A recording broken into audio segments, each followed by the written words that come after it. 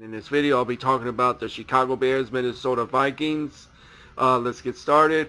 Bears and Vikings, last game of the season, week 17. There is some implications in this game coming up. The scenarios go like this.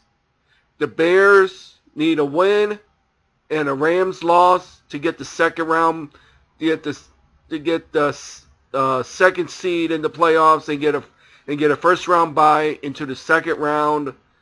A Bears win and a Rams win, that doesn't matter. It doesn't matter. The Bears will still be the number three seed if they win and the Rams win. Um, Minnesota Vikings, if they beat us Sunday, they're in. But if the Bears beat Minnesota and Philadelphia wins, Philadelphia's in. And there's some scenario that the Seahawks could possibly go down to the to the sixth seed.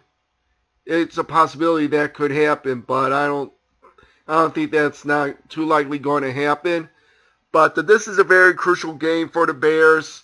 Um, we know the Bears is going to be playing their starters in the game. If the Rams have like a huge lead over the Cardinals, I have a hunch that the Bears is going to be taking out some key players out. If the score is way out of hand,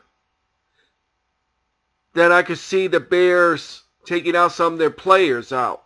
But if there is a close game between the Rams and the Cardinals, the Bears is just going to go, go full out, full frontal in the game.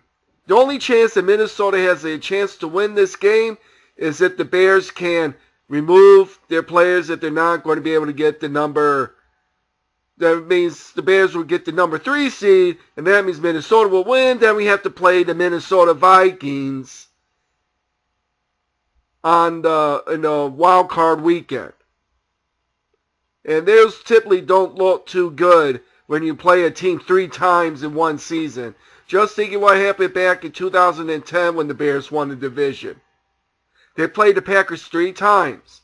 And what happens? The Packers squeaked in by the Bears getting Green Bay to squeak into the playoffs. They were on the verge of not getting in. If the Bears would have won, Green Bay would have been out. Then they go to the NFC Championship game. We lost that game. So there's a very good hunch of the reason why we got to prevent the Minnesota Vikings from winning and we got to take it that the Philadelphia Eagles. I'd rather go face the Eagles than play Minnesota because I have a hunch that if we would play Minnesota again, the outcome could be a little different. But that this is here nor there. But uh, what we what the Bears has to do is not to turn over the football. Don't turn over the football. Uh, run the ball. We gotta constantly run the ball. We gotta constantly get long drives, keep the Minnesota keep the Minnesota off the field, the offense off the field. We got to do that. Defense, I'm not too worried about defense. Our defense will be fine. Um, we just, if this so happens that the, the Rams and the Vikings, not the Rams and the and the Cardinals, if they're in a close way, heated battle, the Bears is not going to take any of their starters out.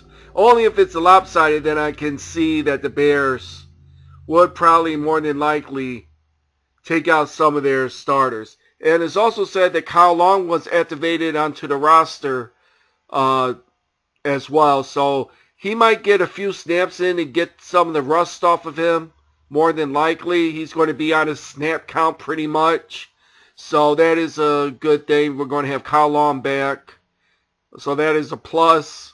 Um, we'll just see after things go on Sunday. If the Bears win, Minnesota's out. Philadelphia wins, Philadelphia's in. Even though if Philadelphia loses and Minnesota loses, Minnesota still gets in no matter what. But if the Bears has a chance to win and the Rams lose, we'll get the number two seed and we'll get a bye into the second round. And we'll face the highest number then we'll face the highest rated seed in the second round. So it's more than likely that the scenario could be it's going to, well, they got the Saints. As of right now, it's the Saints, Rams, Bears, Cowboys. If the Bears somehow get the bye, the Bears will either have to play the 3, 4, or the 5th seed. The Bears won't have to play the 6th seed. If they get the bye, they won't have to play the 6th seed. They have to play the other, whatever the lowest seed plays the number 1 seed. Whatever's the other seed plays the number 2 seed. So, so the Bears won't be playing the 6th seed in the, if they get the bye. They won't be playing them. They either will get to play Philadelphia or Philadelphia or the Vikings. They won't be playing one of those two teams. They either will have to play Seattle, the Cowboys,